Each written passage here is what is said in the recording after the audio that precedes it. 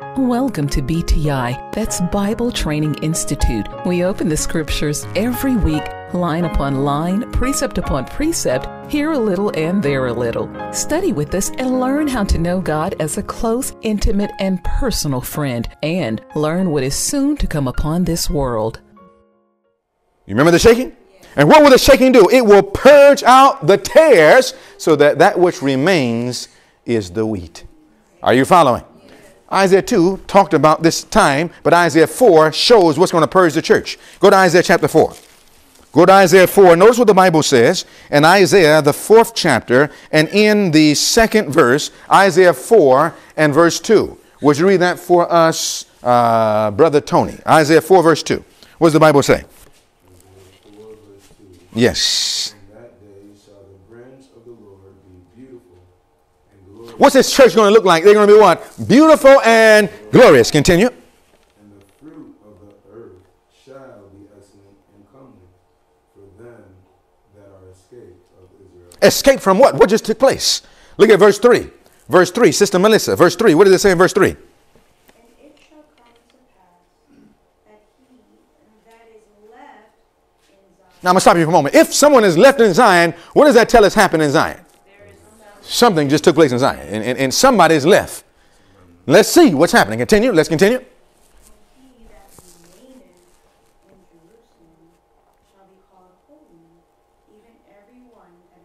Where? Among the what? Living in Jerusalem. So there's going to happen something inside of God's people.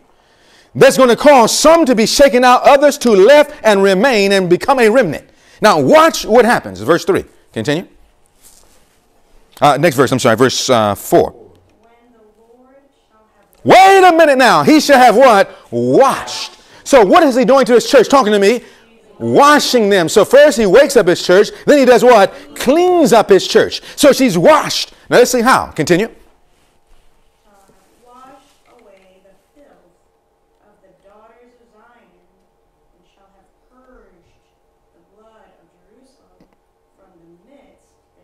How? Of judgment. What else? So God is going to allow a judgment to come upon his church that is going to separate the wheat from the tares. It's going to start judging the people of God and those that remain through that judging time are going to be called beautiful. Their names are going to be written among the living. Their names are going to be written. Those are who God is going to use to finish his work. Now, my brothers and sisters, in order to go through that, what must be out of us? What must come out of us? That which is filth. And what does filth represent? Sin. He's going to purge away the filth. So that means that before that takes place, there has to be a cleansing of the sanctuary, a cleansing of the congregation, a cleansing among the people of God. Do we need to clean up, yes or no? Now, my brothers and my sisters, this shows us what's going to take place. Now, what's going to give us the power? Then the glad tidings of a what? Risen Savior were carried to that most bounds in the inhabitant world. The church beheld converts doing what? Flocking to her from all directions. Believers were reconverted. This would happen when Pentecost took place. Remember we studied Pentecost? Outpouring of the early rain. Sinners united with Christians seeking the pearl of great price. One interest prevailed. One object swallowed up all others. All hearts beat how? This is Christ Object Lessons 120. The only ambition of the believers was number one, to reveal the likeness of Christ's character. That was being brought back to perfection. It says, and to labor for what? The enlargement of his kingdom. And that was the carrying this gospel to the entire world. They were seeking to do that. Who did that? The Spirit of Christ animated how much? The whole. That was Pentecost. These scenes are to be repeated and with what? Greater power. The outpouring of the Holy Spirit on the day of Pentecost was the former rain, but the latter rain will be what? More abundant. So what do we need? We need power. Go to the book of Acts. Acts chapter 1. In the book of Acts, chapter 1, the Bible tells us what this power is. What is this power that's going to allow us to live above sin? What is this power that's going to bring us back to perfection? What is this power that's going to give us the ability to witness and to bring the message to every nation on this globe without anything but the uh, but but but this thing? I'm not going to tell you what it is. What is it that's going to give us this power? Talk to me, somebody. The Holy Ghost. Acts chapter 1. Let's see it from the Bible. Acts 1. Notice what it says. Acts 1. uh, Amaya, if you read this for us, please. Acts chapter 1, beginning in verse 8. Notice what the Bible says. In fact, back up to verse 3. Acts 1, verse 3. What does the Bible say in verse 3? To whom also he shewed himself alive after his passion by many infallible proofs, So after he died, he resurrected and showed himself. Continue. How long? Now, was something going to happen in a little while? What was going to happen in a little while? Pentecost. Next chapter, 2 1. Now, Pentecost means 50. So 40 days passed. How many days before Pentecost? 10. And Jesus understood the plan of redemption. He knew that the Pentecost was coming on time. He knew that that fourth feast was going to happen on time. Now, it goes on to say, continue my, uh, Amaya. And speaking of the things pertaining to the kingdom of God, Now, look what he said in verse 4. and being assembled together with them, commanded Now, notice his command. His command was go out and reach all of Jerusalem right now. No, no, no, no. Different instruction. Let's continue. What was his command? His command was what? You better not go nowhere yet. you better get something before you go. You know, if you got a vehicle, I don't care how powerful it is, you could have got a six by six. Yeah, was a four by four. You could have, you could you could have got everything, having diesel, gasoline, everything. But if you had no gas in that thing, no fuel, what's, where's the truck gonna go? Do you know what the church would look like trying to reach the world with no Holy Spirit? Nowhere. Nowhere. But guess what? If we get the Holy Spirit, we don't need anything else. This is our greatest need. Look at what it says. Acts 1 goes on to say in verse 4, he said, Don't just depart from Jerusalem. He said, What? Continue. But wait, what? I wonder what this promise is. Continue. which, saith he, ye have heard of me. And what was that promise? Verse 5. For John truly baptized, With what? Talking about rain. Continue.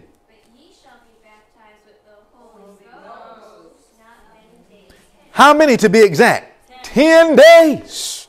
It happened on time. Pentecost, early rain. And it's going to be repeated under the latter rain, loud cry. All nations will be heard by, uh, will be reached by this. And so Jesus said, don't go nowhere yet. But guess what happened? Verse 8. Go down to verse 8. Uh, Sister Davis. Acts 1 verse 8. But ye shall receive Power. That's what we need. To do what? after that the Holy Ghost is come upon you, And ye shall be what? witnesses unto me, Where? both in Jerusalem Where else? and in all Judea Where else? and where else? and unto the uttermost part of the Is that the world? Yes or no? All nations. So, question What did they need first before they could have power to overcome their defects? The Holy Ghost. What do they need so they can have power to reach the entire world? The Holy Ghost. Now, God gave us a symbol of the Holy Ghost. What was that symbol called? Rain. Water in the verse, yes, water. And when water drops out of the sky, what is it? Rain. Now, my brothers and sisters, this is what we need. Now, watch it now. In describing to his disciples the office work of the what? Holy Spirit, Jesus sought to inspire them with the joy and hope that inspired his own heart. Jesus, look at his church, less than 100 people, but he knew they were going to reach the world. He said, they're going to finish the work. They're going to do it. Now, what gave Jesus such joy? What inspired him? He rejoiced because of the abundant what? Help he had provided for his church.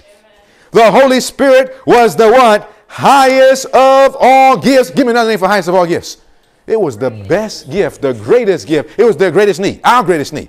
The Holy Spirit was the highest of all gifts that he could solicit from his Father for the exaltation of his people. What do you get from that? Remember Isaiah 2? He's going to exalt his church upon the mountain. What was going to exalt his church upon the mountain so all nations could be reached? The Holy Spirit. It says the Spirit was to be given as a what? Regenerating agent. What does regenerate mean? What does that mean? To revive. It says, and without this, the sacrifice of Christ would have been of what? now, somebody tell me what that means. The cross would have meant what? Nothing without the outpouring of the Holy Spirit. It says the power of evil had been strengthening for centuries, and the submission of men to this satanic captivity was amazing. It says sin could be resisted, and what else? What's that next word? What does only mean? Nothing else. Only through the mighty agency of the Father. Only through the mighty agency of the Son. Only through the mighty agency of the third person of the Godhead. And there are those today that will tell you there's no heavenly trio. They'll tell you there's no Holy Spirit. You know that man's been deceived. But this tells us that the third person of the Godhead, the Holy Spirit would come with what? No modified energy, but in the fullness of what? Does the Bible say that he's going to bring power? Yes or no? Acts 1 verse 16. Not by might, Sister Kia, nor by, uh, by power, but by what? My spirit. It says, It is the spirit that makes effectual what has been wrought out by the world's Redeemer. It is the spirit that makes the heart pure. Through the spirit, the believer becomes a what, everybody? And you better remember that. That's the secret right there. The Holy Spirit makes us a what? Partaker of what? Now, I want to ask you a question. If we partake of the divine nature, what does that do? Think about that now. What, what are you right now? What are you and I? What are you and I? Are, are we divine right now? No. What are we? We're human. But what do we need? Who do we need to help us? Humanity or divinity? divinity. So we need divinity to help us. Uh, divinity. We need divinity to help us, but human is not divine, divine is not human. So, in order for divinity to help us, there must be something that connects what? Something that what? Connects what? Humanity and divinity. Now, what do you need? Watch now. This says, it is the Spirit, uh, it is through the Spirit that the believer becomes a what? Partaker of what? So, if you receive the Holy Spirit, He will allow you to do what? Partake of the divine nature. And now, what has happened inside of you? Your humanity is combined with what? through the agency of the now watch it now watch it the savior took upon himself the infirmities of what humanity and lived a sinless life that men might have what no fear that because of the weakness of human nature they could not overcome christ came to make us what partakers of the divine nature and look at this now look at this now his life declares that what humanity combined with divinity does not commit sin. So then, what do we need to bring us back to a sinless state to be connected? Our humanity has to partake of what? How do we do it? Through the Holy Spirit. Do you see? Do you see this now? Watch it now. It is through the Spirit that the believer becomes a what? partaker of the divine nature. Christ has given his spirit as a divine power to overcome all hereditary and cultivated tendencies to evil and to impress his own character upon his church. How can humanity combine with divinity through the agency of the Holy Spirit? Can we finish the work without the Holy Spirit? So then what should our study be? How to receive the Spirit. Look, the very image of God is to be reproduced in humanity. The honor of God, the honor of Christ is involved in the perfection of the character of Desire of Ages 671, 672. When his spirit, there's truth has come, he will approve the world of sin, of righteousness, and of judgment. The preaching of the word will be of no avail without the continual presence and aid of the. This is the only effectual teacher of divine truth. Only when the truth is accompanied to the heart by the Spirit will it quicken the conscience or transform the life. One might be able to present the letter of the Word of God he might be familiar with all his commands and promises, but unless, let's read this together, the Holy Spirit sets home the truth, no souls will fall on the rock and be broken. Nothing will bring us back to perfection to a sinless state but the Holy Spirit. Nothing will enable us to be able to teach and preach to all nations but the Holy Spirit. So then the key should be, brothers and sisters, how do we receive the Holy Spirit?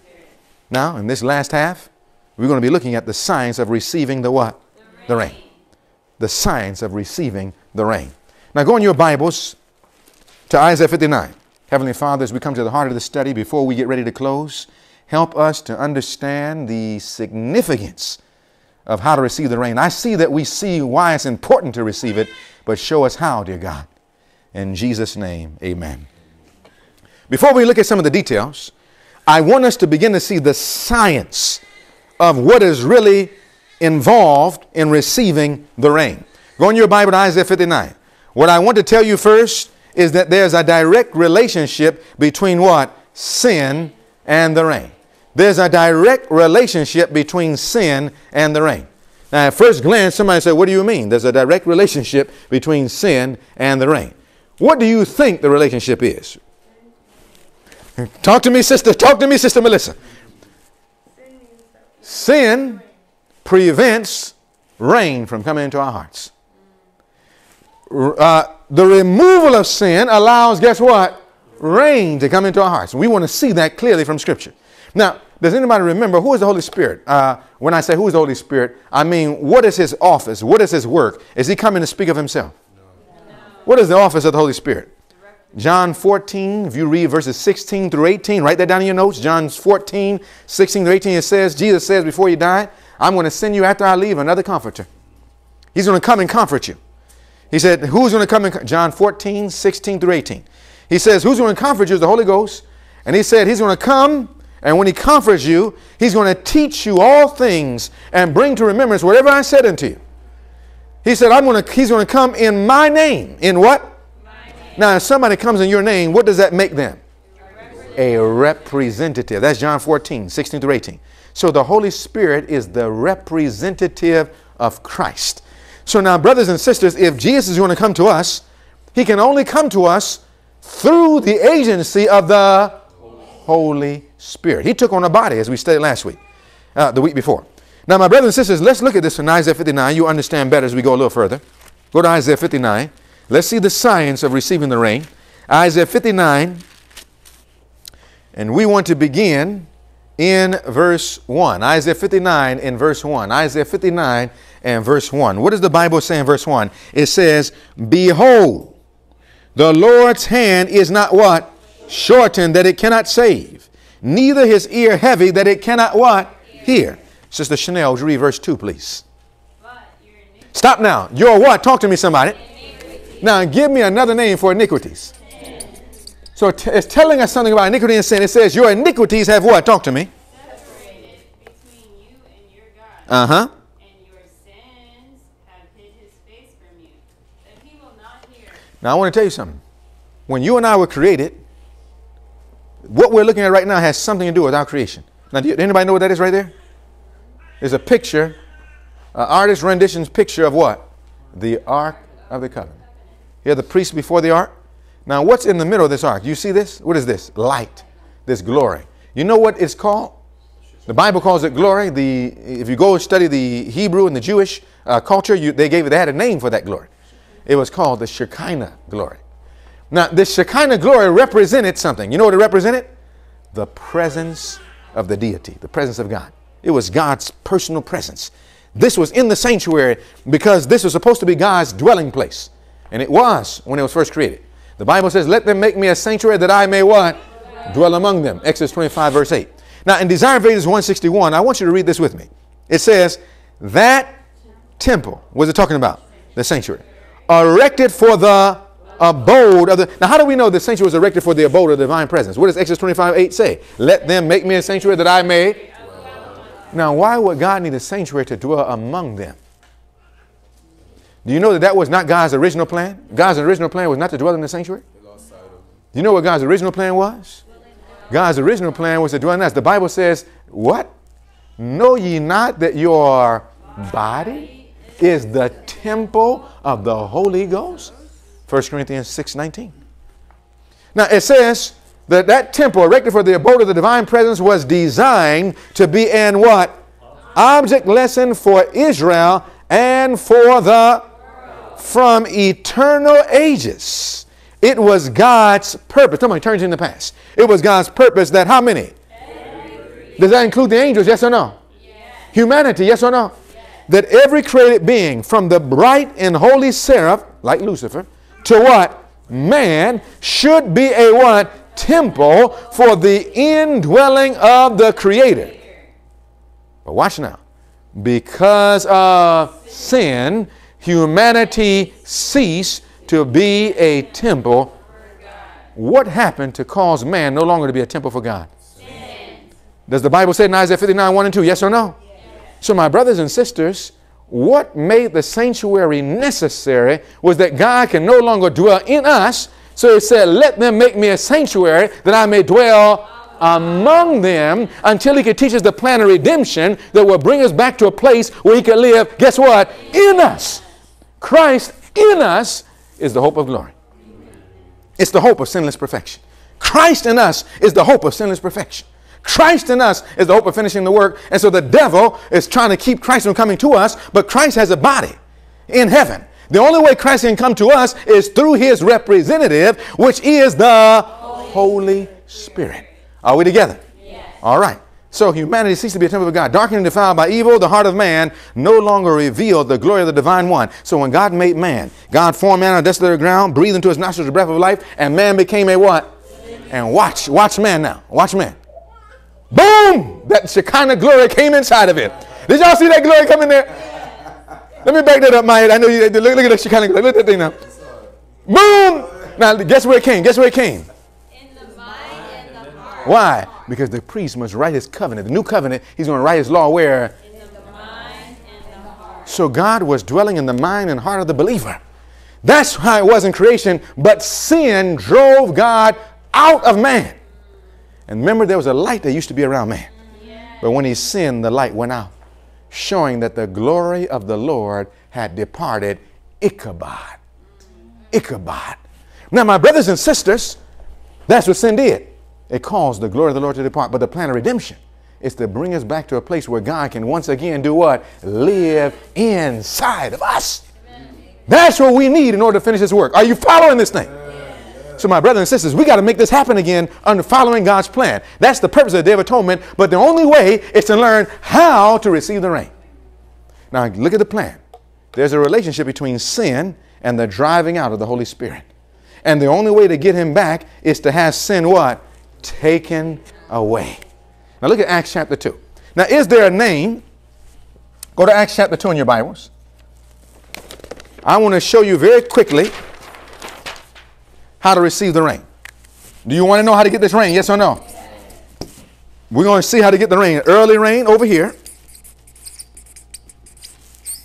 We're going to see Maya how to get this rain. Early rain. We have been talking about this rain. Maya said every time we get to I see how to get the rain, and almost like we, we can't get to it yet. Early rain. And latter what? Rain. We need to know how to get it. God has a simple plan. This, everything depends on this happening. Now, my brothers and my sisters, I want to make it very simple. In order to receive the early rain, there must be something called the remission of sins. Sin is always the key of not being able to receive rain. And the removal of the sin is always the key. The taking away of sin, always the key of how to get rain. I don't care what the rain is. In order to get rain, it always has something to do with the taking away of what? The taking away of sin. What drove God out? Sin. What will bring him back in? The removal of sin. What is the removal of sin called? The remission of sin. When sin is remitted, then the Holy Spirit in the early rain can come to us. Now, let me show you from the Bible that the Bible teaches this. Now, look at the Bible, what the Bible says in Acts chapter 2. Acts, the second chapter. In Acts, the second chapter, here's the day of Pentecost. The upper room had already received the rain 10 days later after Jesus told us. And now Peter is going to explain why they had received the rain and show those who were listening how they too could receive the rain. Look at Acts chapter 2. And notice what the Bible says in Acts chapter 2. And we want to begin reading. We can't read this whole sermon. Man, I wish we could. But, but, but, but look at what it said. I was reading it myself. I said, Lord, this is good. This is good. Look at Acts 2. He's preaching with power. He talks about the plan of redemption. He goes through. You read uh, from verses uh, 14. Peter picks up. Let's pick up in verse 14. Sister Debbie, would you pick up in verse 14, please? Acts 2, verse 14. Peter, standing up with the eleven, lifted up his voice and said unto them, Ye men of Judea, and all ye that dwell at Jerusalem, be this known unto you, and hearken to my words. Now, he said, listen up now. Look at verse 15. For these are not Now, watch now. He said, these are not drunken. Now, why did he say these are not drunken? What made him say that? He's just talking about drunkenness. What, what happened? There were some, but there were some other people around. The religious leaders of the Jews that said these men are what? What made them think they were drunk? Because they were speaking in other languages. And as they started speaking language, other people heard the language. They, they weren't speaking gibberish. They were speaking these other languages. The people heard them, but they didn't know it. And they didn't know what was happening. They couldn't hear what was going on. But the other men said, they're speaking to us the wonderful work of God. They're talking about the plan of redemption. Now, watch what happens. Uh, uh, uh, Brother Tim, would you read Acts 2, verse 1? Back up to verse 1 for a moment. What does verse 1 say? Now, when it says that it fully come, what did it mean? That 50 days were now here. They had fulfilled the prophecy. Continue. all right, Sister Shirley, if you'll pick up for us in verse 15. for these are not drunk, and you suppose, seeing it is the third but the third hour of the day.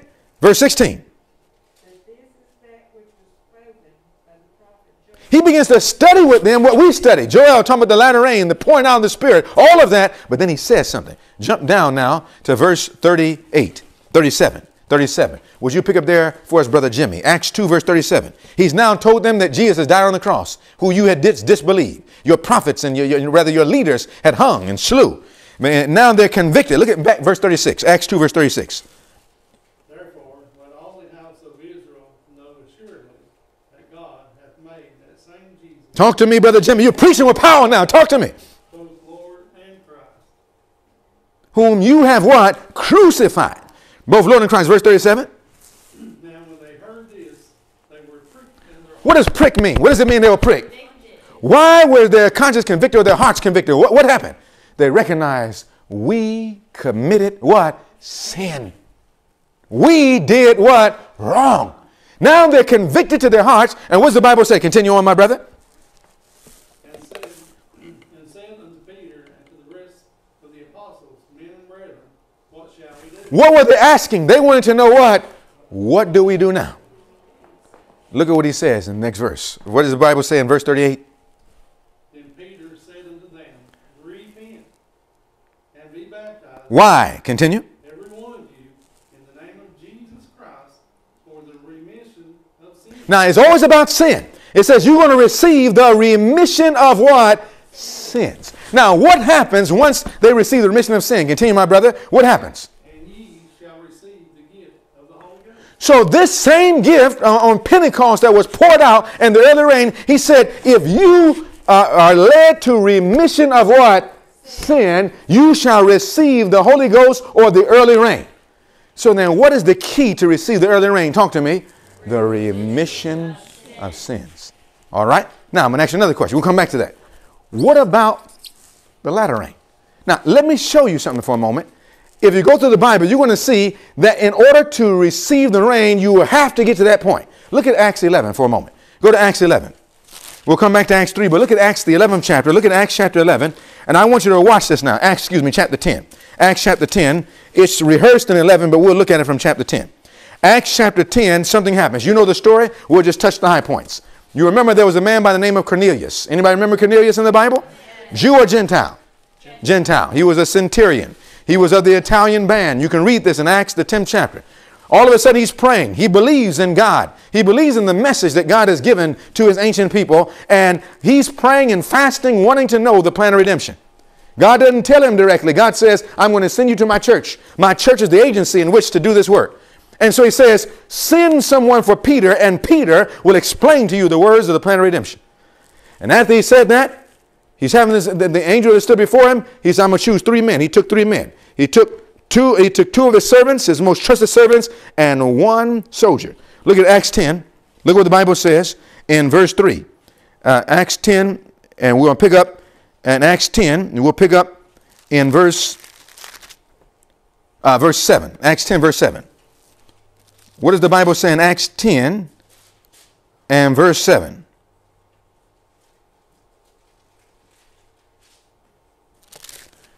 Uh, would you read that for us, Sister Carlene?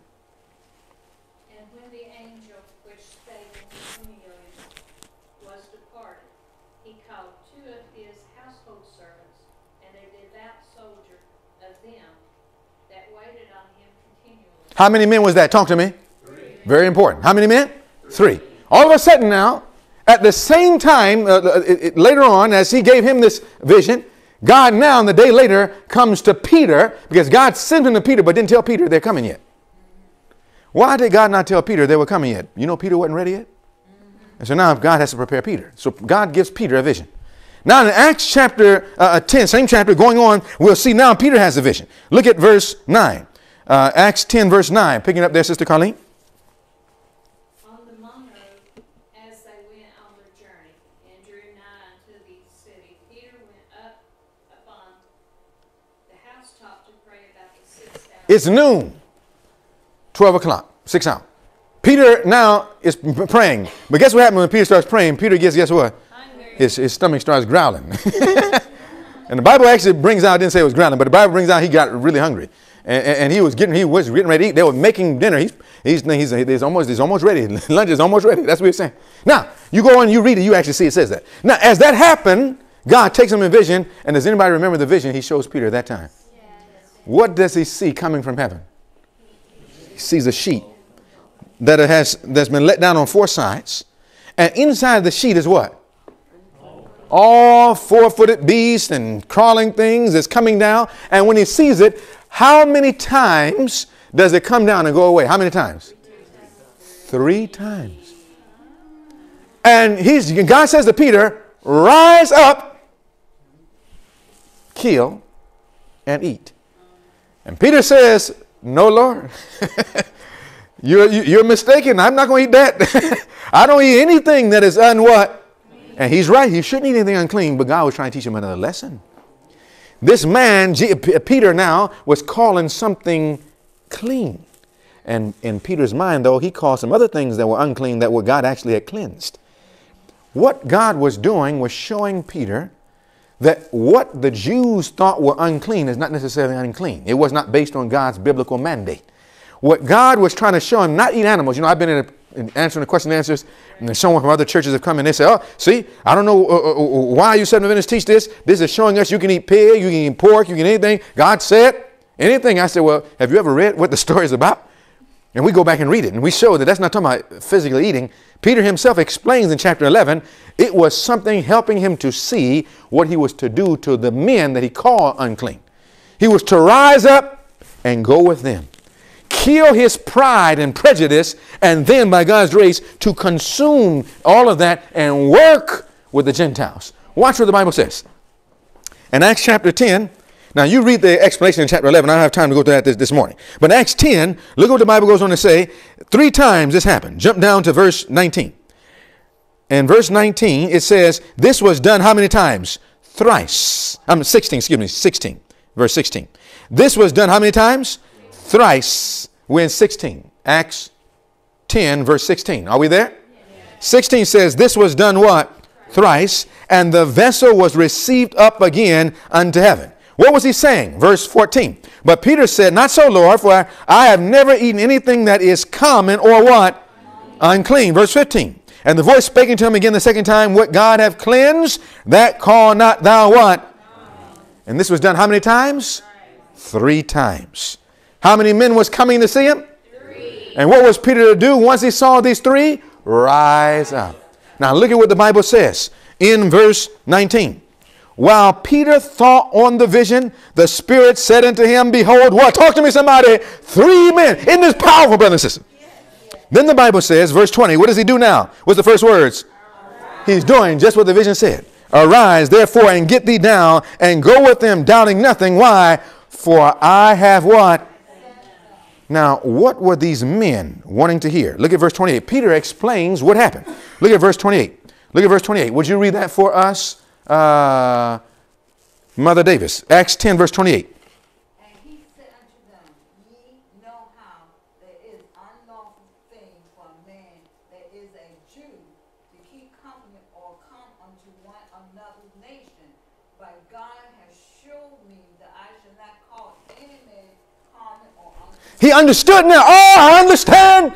When did God show him? In that vision, three times. These three men are not unclean. These three men, I have woke them up and washed them up. They are part of my children. The only problem is they don't know the plan of redemption. This is what the loud cry is going to be like. God has people in other churches. They are God's children. They love God. God calls them mine, but somebody has to understand the plan that can share with them. Are you following me? Now watch what happens. Watch what happens now. Now the Bible says they get up. Now look at what he did. Look at what the, what the centurion did. Uh, not centurion, but the uh, uh, uh, uh, the centurion. Verse 24. What does it say in verse 24? Uh, picking up there in verse 24, uh, Amaya. And the morrow after they entered into Caesarea, and Cornelius waited for them, and had called together his kinsmen and near friends. He was working with his family members.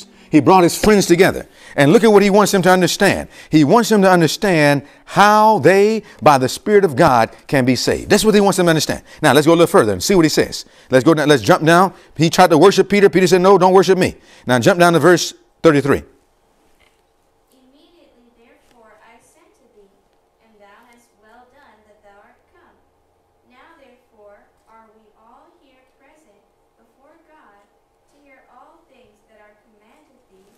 Did they want to hear? Yes or no? Oh, they were ripe. What if Peter didn't know the plan? What could he have done for them right then? Nothing. Now, but watch what Peter does. Verse 34 Then Peter did what? Let's read this all together. Then Peter did what? Opened his mouth. And he says, guys, no, he, God is not a racist. He's not a respecter of persons. Verse 35. But in how many nations? In every nation, he that fear of him and work of righteousness is accepted with him. Verse 36. The world which God sent into the children, word which God sent into the children of Israel, preaching peace by who? Jesus Christ. Verse 37. That word I say, you know, which was published throughout all Judea, beginning from Galilee after the baptism which John was preached. Verse 38. How God did what? Talk to me. He's going through the 70 week prophecy, the baptism, the crucifixion, the resurrection, the close of probation on the Jewish nation. He's going to everything we learned in 23 prophecy. It says, and with power, and went about doing good and healing all that were oppressed of the devil. For God was what, everybody? Verse 39, and we are witnesses of all these things, which he did both in the land of the Jews and in Jerusalem, whom they slew and hung where? Verse 40, him of God raised up when? What, talk to me, somebody, on the First fruits. He talked about the Passover, unleavened bread, first fruits. He's going to get ready to get to Pentecost. Now, look what it says in verse 41. Not to all the people, but unto witnesses chosen before of God, even to us, who he did eat and drink with him after he rose from the. Now, I want you to notice 42. And he commanded us to preach what? And to testify that it is he which ordained of God to be the judge of what? Quicken the dead. Now, watch now. Verse 43. I want to see if you get this. This is this is rich. Verse 43. To him give all the prophets witness that through his name whosoever believeth in him shall receive what? Now watch now. He had been preaching about the entire plan of redemption, but no Holy Spirit. He gets to the message of the remission of what? And what happens once he gets to remission of sins? Watch. Next verse. Watch what the Bible says. This is beautiful. Watch what it says. Next verse it says what? While Peter yet spake these words, the Holy Ghost fell on them which heard the word. So, what preceded them receiving this Holy Spirit, this falling of the rain? He had to explain to them the what? Remission of sins. And when they by faith entered into the remission of sins, the Holy Spirit fell on them. What happened on Pentecost? They received the what? Remission of sin, and the Holy Spirit did what? Fell on them. So, my brothers and my sisters, in order to receive the early rain, what has to happen to us in 2021? Remission of. But what about latter rain? We didn't, we didn't explain this yet. But what about latter rain? What about latter rain? Go to Acts 3. Go back to Acts 3. See, remission of sins is not enough for the latter rain. The remission of sins will prepare us for the early rain, but we need more than a remission of sins to get ready to receive the latter rain. In order to receive the rain of the early rain, I have to experience remission of sin. What is the experience necessary to receive the latter rain? Acts 3. Acts 3. Notice what the Bible says. Now, what should it have to do with if we're reading right? What should it have to do with? Where is there a direct relationship between sin and the rain? What has to happen to sin in order to receive the early rain? I have to have my sins what? Remitted. Remitted. Going to re- removed or going to remission? Remitted. Now, what has to happen in order to receive the latter rain? Something must happen to my sins. What must happen to my sin to receive the latter rain? Acts chapter 3, verse 19. Let's read verse 19 together. Acts 3 and verse 19 all together. Repent ye therefore and be converted that your sins may be what? Blotted out when the times of, give me another name for the refreshing. Give me another name. Outpouring of the Spirit in the latter rain shall come from the presence. What drove God's presence away? Sin. Sin. What's going to bring God's presence back? And what does this text say right here? The blotting out of sins. So, what experience do I have to have in order to receive the latter rain? The blotting out of sins. Do you notice? Sin, something has to happen to sin on both times. To receive the early rain, my sin doesn't have to be blotted out. To receive the early rain, my sin has to go into remission. I have to experience remission. But to receive the latter rain, my sin must not only be remitted, to receive the latter rain, my sin must be what? Do we see it from the Bible? Yes or no? Yes. But now, my brothers and sisters, we know this is of a truth, but you know what the question is? How? Go to Job chapter 9. Go to Job chapter 9. Go in your Bible to Job chapter 9. Job, you know, has talked about this, and Job said, Look, I know that what you're talking about is true. We saw from the text, in order to be a part of this team and finish the work, we need the rain. What rain? Early rain and the latter rain. The rain, latter rain seals us. But the inspiration is telling us no latter rain to seal us without the early rain.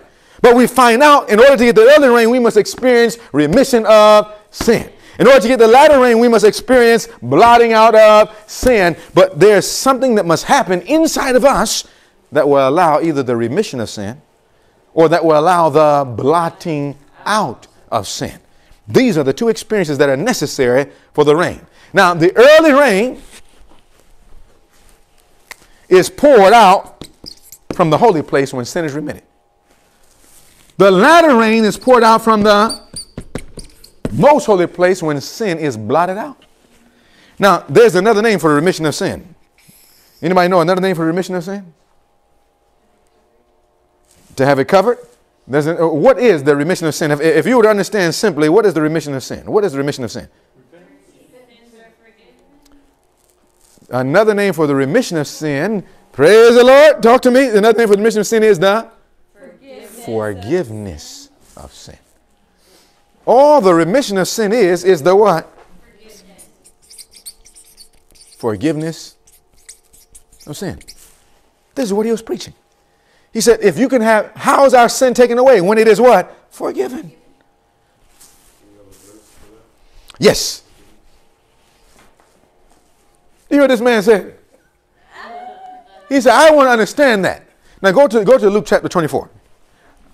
I, I, was I was going I was going to let you assume that one for the sake of time, but we'll come back. We'll come back. We'll come back to that because this is precedes that.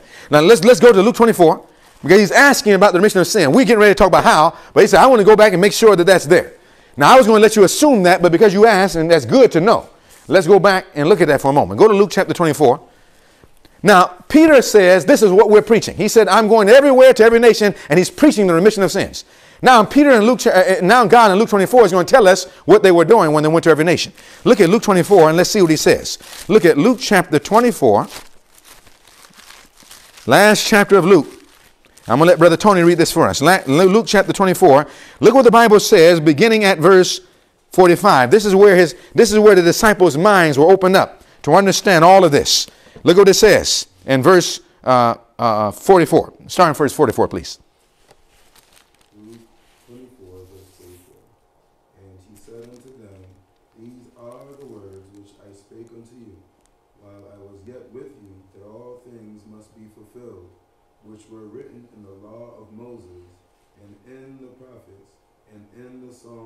concerning me.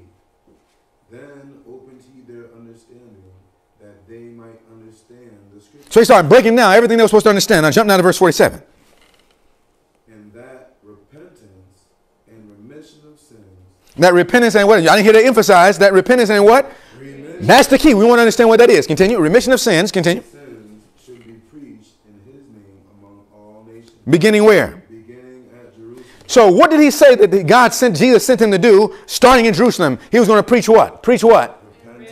And the remission of So now if we go back and watch what they did then and see what they preach, we will find out what the remission of sins actually is because that's what they were told to preach. Am I right? Let's see what they did. Go to Acts 10 now. Let's see what they did now. Go to Acts 10. Go to Acts 10 this time and watch what it says in Acts the 10th chapter. And notice what the Bible calls the remission of sins this time. is going to give it a different name this time that's going to be taught to all the nations. Acts chapter 10 the Bible is going to show us something, just like we left off, talking about the remission of all these sins. Look what the Bible says. You're going to Acts, the 10th chapter. Right when he began to speak that up, Acts chapter 10. Notice what it says in Acts 10, Acts 5, excuse me, Acts 5. Acts 5. Notice what he actually did in Acts 5, what he was preaching. Acts chapter 5, repentance and remission of sin. Acts 5, look at verse 31. Acts, the fifth chapter, and the 31st verse. Would you read that for us, uh, Brother Tony? Acts chapter 5 and verse 31. What does the Bible say there? Acts 5.31, the Bible says, Him hath God exalted with his right hand to be prince and savior, for to give repentance to Israel and forgiveness of sins. Now, what were they supposed to be preaching? They were preaching the remission of But as they, you listen to their preaching, what were they actually saying? God's sins will, his sins will be what? Get forgiven. Now, all, if you look at the word remitted, if you look at the original word, the word remit, it's the word miss, remiss, where we get our word missile, where we get our word missionary. Miss just means sent. Re, again, or sent away again. It's just talking about when you send a missile out, you're sending something away. That's all it is. So to have sins remitted means that you are taking sin where? Away. So what is the forgiveness of sin? Talk to me, somebody. The taking of sin away. The remission of sin. What they preach is nothing more than the forgiveness of sin. So in order to receive the early rain, we have to have our sins remitted or we must experience the forgiveness of sin. Somebody says, Well, I've already had the early rain because my sins have been forgiven. I wonder if they have. Is there a way of receiving and knowing that our sins have been forgiven? Yes or no? What if I haven't followed the steps to get forgiveness of sin? Is my sin forgiven? Yes or no? Look what the Bible says. Job chapter 9. Go to Job chapter 9. Go to Job chapter 9. And notice what the Bible says in Job 9. Now we're coming back to Job 9. After we see what the remission of sin is, the forgiveness of sin. In order to receive the early rain, what do I need to have? Talk to me, somebody. The remission of sin or the forgiveness of sin. Is that enough to get the latter rain? No. What do I need to get the latter rain? The blood. Good. Sound good. Good. Good. Go to the book of Job, chapter 9. Look what the Bible says in verse 1. Job chapter 9, verse 1. Would you pick up there for us, Sister Davis? Job 9, verse 1, please. Then Job answered and said, Now watch what Job said, because this is how we should say. Verse 2. Mm-hmm. I know so of a truth. The next two words. Stop right there. He said, I know it is such of a truth, but what? How? Now, brothers and sisters, we gone through the Bible and it's clear we need the rain. Am I right? It's clear that the only early rain can only be received by having sin removed, by the remission of sin, by the taking away of sin, by the forgiveness of sin. But how? It's only possible to get our sins blotted out if our sins, uh, uh, uh, it was only possible to get the latter rain if our sins are blotted out. But the question is not, is that so? We know that's so. The question is what? How? How? Is that a good question? Yes. You want a few more minutes? Are you sure?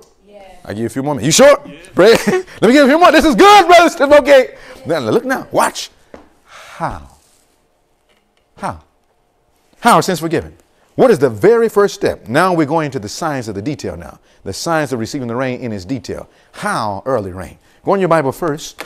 Let's go to first to the book of Job. What book? I'm not Job, John. Go to the book of John 16. Who do you think it is that prepares us to receive the rain? Who do you think it is that prepares us to receive the rain? The Holy Spirit. Isn't that ama- amazing? The Holy Spirit prepares us to receive Himself. It's just like the soil. You know before you can plant the seed in, the water has to soften the soil before it can water the seed in the soil. So the Holy Spirit, that rain, softens the heart so they can actually come into the heart and do first on the inside. The problem is most of us have experienced the early rain from the outside, but not from the inside. Now we're going to find out that the early rain can be received in degrees. How much did I say? You know, the Bible says that Jesus received not the Holy Spirit without measure. In other words, there was no measure to the Holy Spirit that, that Jesus received. It was infinite. He received it, overflowing. But do you know that we can receive a small supply of the Holy Spirit and can receive more and more of that rain? The latter rain comes in fullness. But we can receive this a little, my little. And you and I are preventing this. But guess what? What if you rain on a plant and then you stop watering the plant and then the sun comes? What happens to that water? Do you know it's possible to have received the Holy Spirit yesterday mm-hmm. and by not continuing the experience that you lose everything that the Holy Spirit gave to you? Yes. Because we were once converted and have backslidden. Now, my brothers and sisters, we have to identify if this has happened to us. So, what we want to do now, we'll come back to this page. I want you to be able to see this very simply as we, as we close. In the early rain, receiving Him. How? We know there must be the forgiveness of sin. Give me another name for the forgiveness of sin. Remission of sin. Go in your Bible to John 16. This is the first thing He does when the Holy Spirit comes to come in to give us the rain.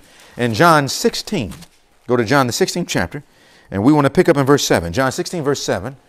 John 16, verse 7. We'll read this together. John 16 and verse 7. What does the Bible say? John 16, verse 7. What does the Bible say? It says, Nevertheless, what? I tell you the truth.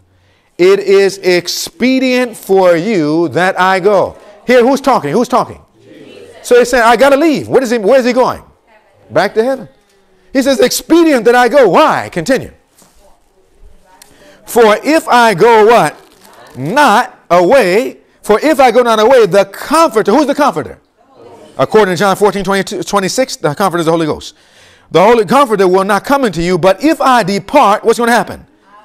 So Jesus, when he went back to heaven, he sent them to us as our high priest. That was the first gift he gave us as a high priest. Now watch what he does. What's the first thing the Holy Spirit is going to do when he comes to try to come in? Verse, it goes on to say, uh, I'll send to you, verse 8. And when he is come, he will do what? Whoa, whoa, whoa, whoa, whoa, whoa, whoa, whoa, whoa, whoa, whoa, whoa. When the Holy Spirit comes, he doesn't come to us first as a comforter. You know what he comes to us first as? A reprover. So now, in order to receive the early rain, what has to come to us first? Reproof. That man that's dead, resurrected, you killed him. You slew him. It was your sin, my sin, beloved. In other words, those straight preachers begin to give reproof to show them that something had happened called what? Talk to me. Sin. Now, when the Holy Spirit comes to come in, he cannot just come in. He must first point out what? Talk to me. Sin. He comes to reprove. Now, watch this now. It says, through the merits of Christ, the man can be restored to harmony with his Maker. His heart must be renewed by what? Divine grace. He must have a new life from above. This change is the new birth, with, without, without which, says Jesus, he cannot see the kingdom of what? That was to Nicodemus. Remember John 3? Now let's read this together. The first step in reconciliation to God is the what? Conviction of sin. What does reconciliation mean? We're being brought back. Now remember the work of the priest, not only bought, but we're to be what? Brought back. So the first step of being brought back to perfection, getting a relationship with Christ where I know him as a close, intimate, personal friend. What's the very first step? Is what? Eh, eh, the first step in reconciliation to God is what? What does that mean? Conviction of sin.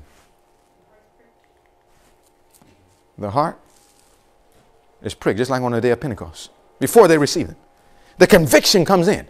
In other words, I'm convicted about what? I'm convicted that I don't, I don't look nice today. Is it, what am I convicted about? I'm convicted about what? Sin.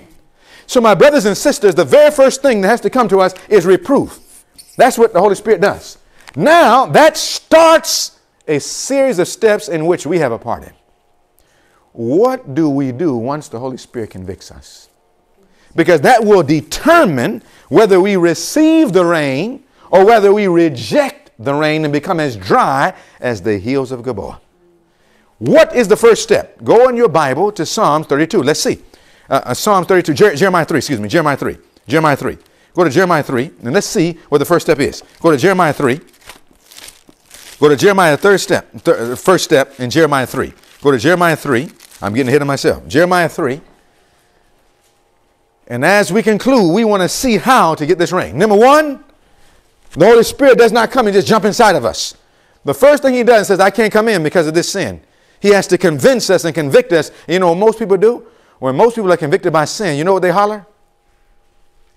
They holler, He's condemning me.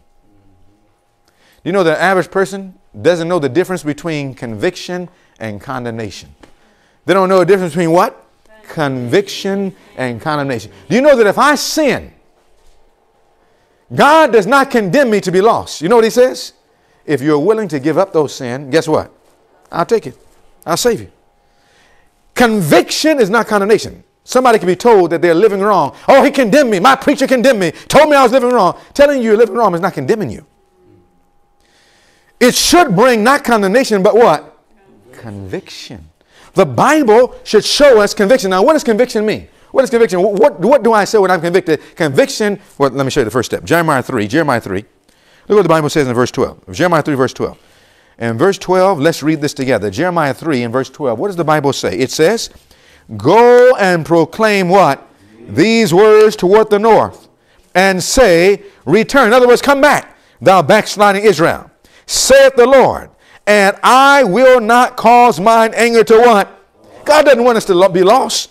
He wants us to be saved. This is the plan of redemption. It says, For I am what? Merciful, saith the Lord, and I will not keep anger. How long? So then, what is our part? Verse 13. What does the Bible say? Only what, everybody?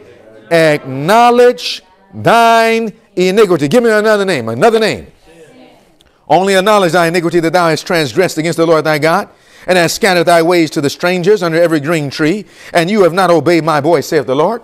The first thing, if we're going to receive the rain, when the Holy Spirit reproves us of wrong, what's the first step if I want to receive the rain? Acknowledge. Acknowledge. Very first step. Now, what if the Holy Spirit, through the Bible, through the Spirit of prophecy, through the preacher, through my own conscience, shows me what you're looking at on television is wrong? What you're eating is wrong. What you're wearing is wrong. The day you're going to worship on is wrong. The man you killed, that was wrong. The thoughts, wrong. The relationship you're in, wrong. The way I am as a child, wrong. Is that condemnation? You know what that is? The convicting influence of the Holy Spirit. That's the first step of the priest bringing us back to Jesus, restoring a friendship, making us have a close, intimate personal relationship. He shows you we cannot have a relationship like that. That's wrong. But I'm here to make you right. Are you following? What is the first thing now our part? So, oh, that's the, ah, he shouldn't have preached like that. He's meddling where he shouldn't have meddled. That is the way not to receive the rain. You know what I need to do in order to receive the rain? What's the first step? Acknowledge. Acknowledge. I'm wrong. Do you know when if a man is a addicted, he was going to an alcoholic class or any other addiction, you know what the first step of breaking that addiction? Acknowledging that he has an addiction. You know what? If you, you go to anonymous AA, alcohol, you, they come in, the first thing they'll tell you, you come in, you say, My name is, and I am an alcoholic. As long as you say, oh, my friend, we just casually drink, you know, it's not really, it's not bad. I just have 10 cups, but it's not really that big. You say 10 cups? And then you look at it, and then you go, you think that was bad enough, but you go to see the size of his cup, it's, it's like one of those big gulp cups, you know? You say, wait a minute, brother, that's not no 10 cups. That's gallons. You are drunk. Now, my brother and sister, the Holy Spirit comes in. The first step to get away. What about a man who's hooked on pornography, hooked on selfishness, hooked on uh, uh, uh, intemperance, hooked on anger, hooked on doing the wrong things? What about the woman who is trapped in, in, in looking like the world and trying to get caught up in all these things? What about the family? The first step, you know what the first step is? I acknowledge. I'm wrong. When this message found me, I'm going to tell you something. That messenger of God was sent to me. He's now resting in his grave. He sent that message sent to me, and I remember everything he taught. I was on the wrong side. And I said, This man is right, and I am wrong. I could have thought, no, this old man, why is he telling me this? How can he? Uh, is it because he's so tall he can't see me? No, no, that, that, not, not going to work. But I listened to the Holy Spirit and I said, I acknowledge. I'm living wrong. I'm thinking wrong. Everything I look at, what I'm listening to, what I'm eating, what I'm wearing, wrong. But Lord, I want to be right. And nothing I can do can make me right. I have to first what? Acknowledge smoking, not good. Alcohol, not good. Not going to church, not good. It's wrong. But there's much more than that. Now, you understand what I'm telling you? And what we have to study as we start going to next week, we're going to start getting to what's much more than that. What applies to us in the remnant church to prepare for the seal so we can receive the latter rain. Now, my brothers and my sisters, this is the first step to acknowledge. Can we see that clearly? Yes or no? When the conviction comes upon us, we have to acknowledge, and all that is to say, declaring in mind and heart, I am wrong. God, in your word and the spirit of prophecy, you are right. That's the first step. Have you done that? When the Holy Spirit comes to tell you you're wrong, have you done that? And say, Lord, you're right. I'm wrong. What's the second step? What's the second step? Go to Psalms 32. Look what the Bible says. Uh, and, and, and, excuse me, go to uh, Acts 2. Acts 2. Second step, Acts 2. Go to Acts 2. And look what Peter said. He tells us the second step. And the Bible is like a puzzle, so it doesn't just give us all the details immediately. It gives us into a step by step, and we got to put it together like a puzzle. Watch what it says in Acts 2. Look what the Bible says in Acts 2. In Acts, the second chapter, the Bible tells us the second step. In Acts 2, look what the Bible says, beginning in verse 20, 38. 37, they're pricked in their heart. 38 tells us the next step. What shall we do? 38, let's read verse 38. And we're going to stop at the first part. Acts 2, verse 38. What does the Bible say in verse 38? It says, Then Peter said unto them, what's the first words? Repent. Repent. Guess what the second step is? Repent. Repent. That's the second step. We're going to stop right there. Repent. Now, my brothers and sisters, first step, acknowledge I'm wrong. Second step, repent. What's the difference between acknowledging I'm wrong and repenting? What is the difference between acknowledging that I'm wrong and repenting? Repenting it, it, it, includes turning away. But even before that, look at this now. How shall a man be just with God? How shall the sinner be made righteous? It is only through Christ that we can be brought into harmony with God. This is steps to Christ 23, 23 with holiness. But how are we to come to Christ? Many are asking the same question as did the multitude on the day of what? When convicted of sin, first step. The Holy Spirit does that.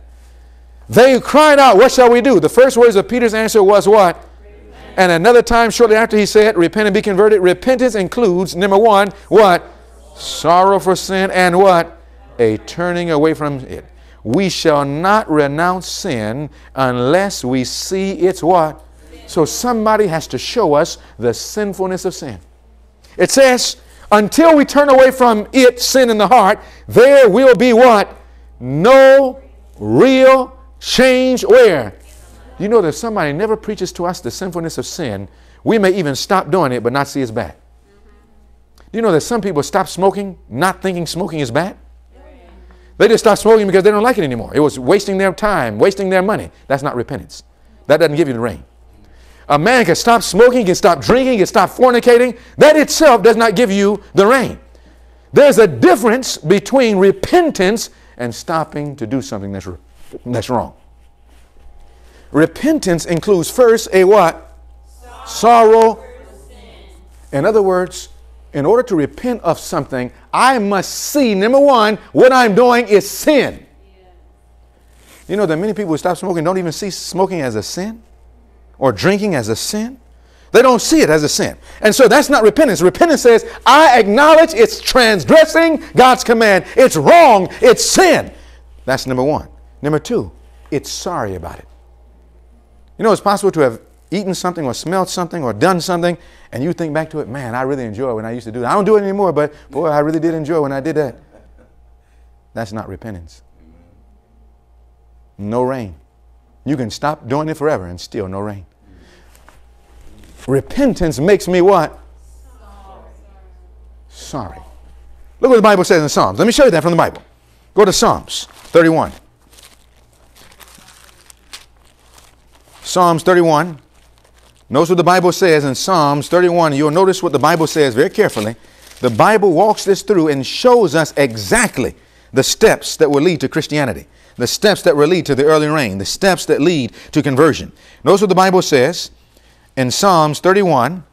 And when you get there, let me know by saying amen. amen. Notice what the Bible says in Psalms 31. And we'll pick up there, Psalms 31. And we want to look, look what the Bible says here, and we'll pick up in verse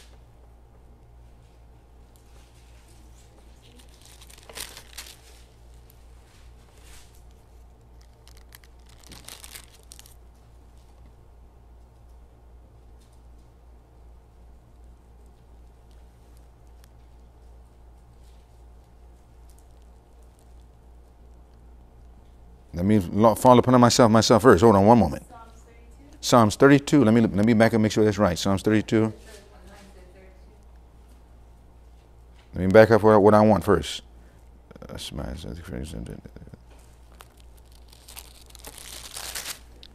Ah, Psalms, Psalms 30. No, it's not. It's not 31.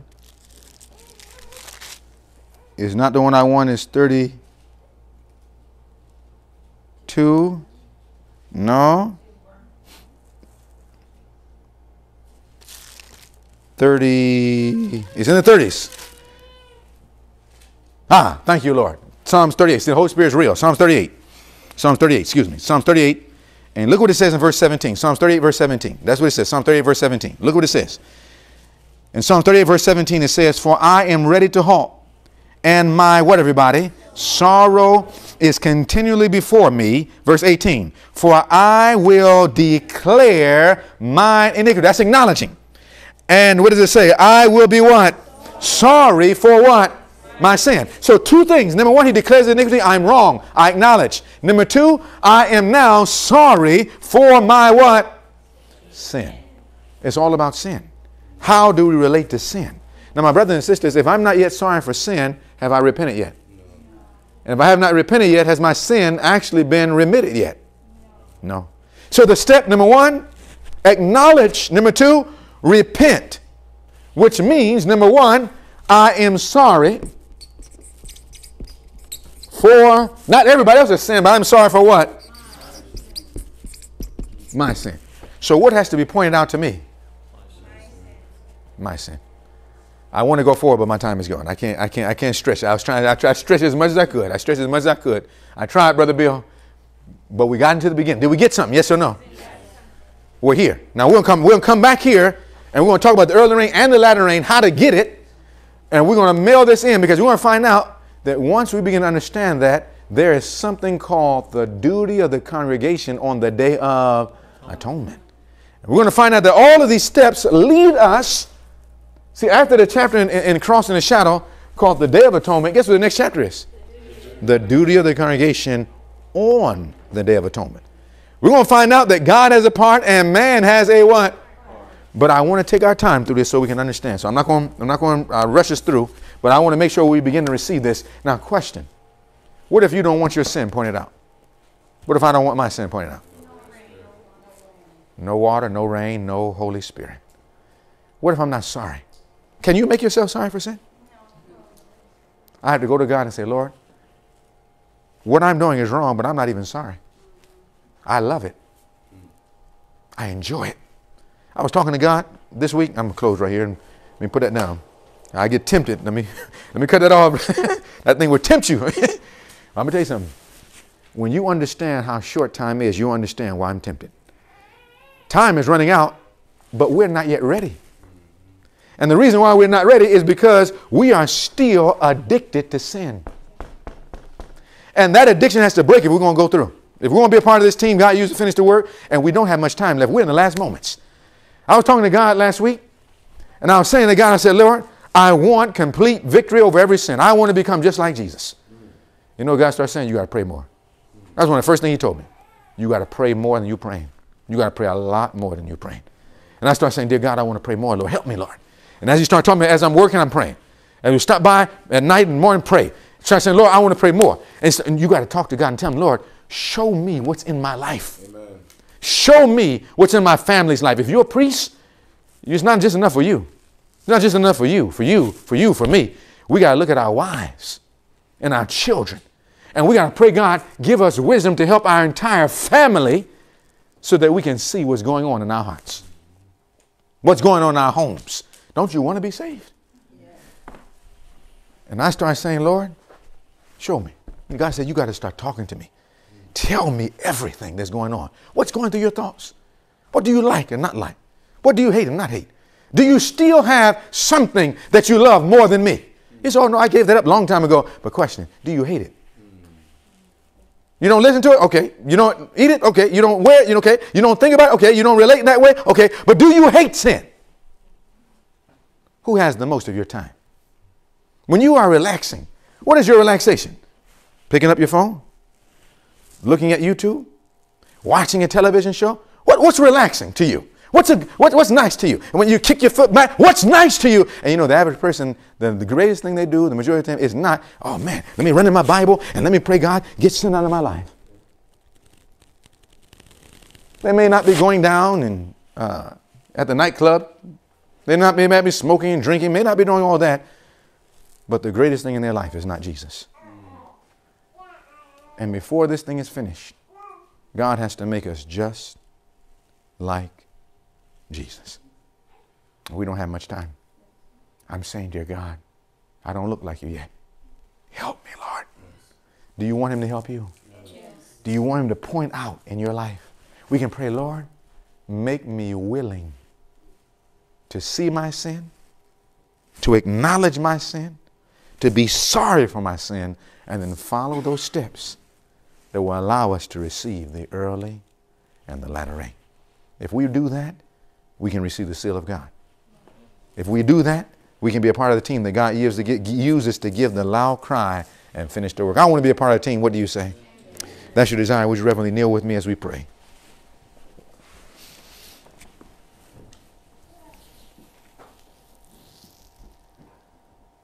Heavenly Father, if we're honest with ourselves and with you, we would have to admit that we don't yet look just like Jesus. Our time is not occupied the way Jesus' time was occupied. He spent entire nights in prayer for his family, in prayer for himself to be braced for duty. Lord, teach us how to pray. Teach us, Lord, how to receive you so that we're literally sorry for our sins, so that we love you. Put enmity in our hearts that you promised that will make us hate sin, so that your head, Satan's head can be crushed. Lord, I plead with you that you would help every one of us individually to look at our own lives and to receive the convicting influence of the Holy Spirit to point out everything that needs to be cleaned up so that we can stand up with Jesus Christ. I pause this prayer. There's someone here that says, Lord, speak to me. I hear you speaking, Lord, and I want you this week to point out what needs to come out. I want you to help me this week to pray more. I want you to help me this week to share with others more of the need of getting ready for the coming of the Lord. If that's your desire this morning and you want the help of Jesus, just raise your hand wherever you are. Heavenly Father, you see our lifted hands. We cannot make ourselves sorry. We cannot turn ourselves from sin. We need you, dear God. Help that this week will be a week like never before. That we and our families will pray more that we will study the chapter in the Day of Atonement, those who have not, and we will review seeking to understand what is the duty of the congregation on the Day of Atonement? How can I work with Jesus so that I can be a part of the team to finish this work? That I can know Jesus as a personal friend, close, intimate, and personal. Father, be with every lifted hand. Save us, we pray, and we thank you for what you did today, beginning to open to us the science of receiving the rain. Thank you, dear Lord. In Jesus' name, amen. If you were blessed by this study and would like to be a part of the BTI that's Bible Training Institute, simply have your Bible pen and paper handy and check out our weekly studies by logging on to molministry.com. Hover over sermons, then from the drop down, click the word video. Also, tune in every Friday at 10 a.m. Eastern Standard Time for the latest. Maranatha.